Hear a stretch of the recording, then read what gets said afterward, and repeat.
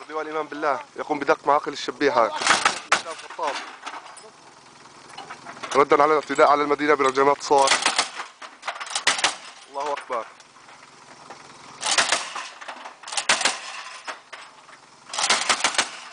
كتيبة سيف الإسلام خطاب. ردا على الاعتداء على